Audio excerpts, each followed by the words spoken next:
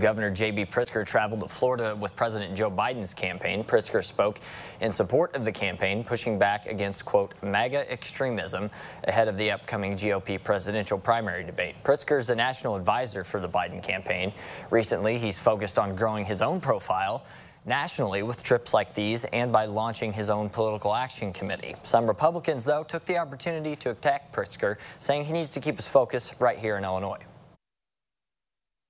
While MAGA Republicans focus on toxic culture wars, their policies are crushing working families. The governor is absent in another state talking about federal issues, issues that are not pertinent to Illinoisans. Governor Pritzker was considered an emergency candidate for president if Democrats, if President Biden chose not to run. He is fully committed to supporting President Biden's campaign multiple times.